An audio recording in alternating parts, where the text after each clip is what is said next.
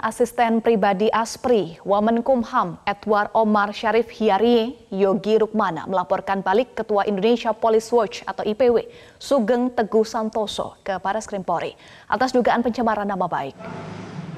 Pada Rabu dini hari, Yogi resmi melaporkan balik Sugeng Teguh Santoso atas dugaan pencemaran nama baik ke Bares Krimpori.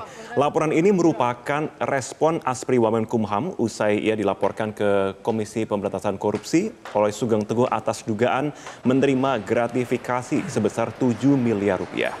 Yogi Rukmana membantah tuduhan Sugeng terkait dengan penerimaan gratifikasi. Yogi memastikan akan bersikap kooperatif dalam menjalankan pemeriksaan di KPK.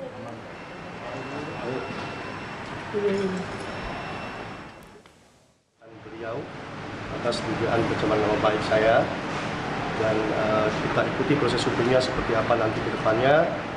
Uh, mudah-mudahan uh, hukumnya terang benderang dan kita tahu mana yang benar mana yang salah. Hampir semua yang dinyatakan oleh Pak STS kepada terhadap tuduhannya terhadap saya itu tidak benar semuanya.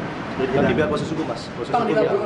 terkait bukti transfer yang Ya diserahkan monggo, monggo, monggo saja mas. Silakan pembuktian, silakan pembuktian. Kalau dia bisa membuktikan, saya juga bisa membuktikan.